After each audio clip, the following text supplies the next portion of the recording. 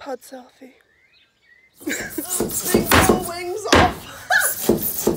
it is. So today we put in all the insulation and all the floor is laid down and then we've got the ceiling to insulate and we've got two windows done. One, David, two. oh my god guys, it is boiling today.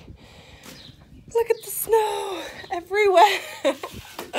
so got all the insulation in, in the floors, in the walls, on the roof.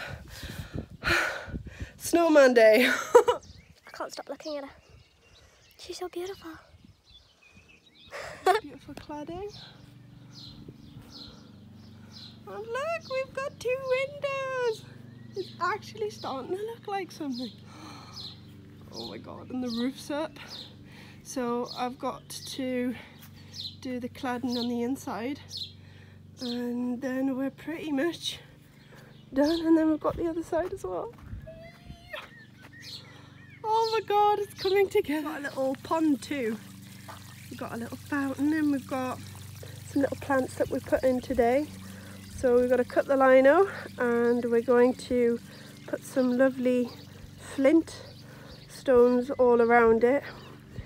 And we got these from the window that I knocked out with a massive hammer here from my barn.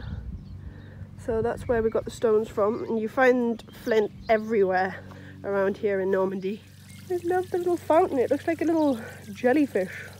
So for the ceiling we're going to use a linen sheet and it'll just add a little bit of softness to the room. So we'll see how that looks and if it looks naff then we're going to have to clad it with some leftover wood that we've got that's the plan.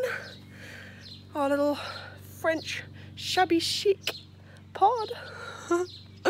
I'm so happy with it today and we've got a new builder in today as well so good worker. so he's back again tomorrow early morning so I'll be up early waiting to do the cladding. I'm so excited. So, oh my god, can't wait to get in a nice shower and wash away all this polystyrene. So I'll let you know what's happening tomorrow. See you guys.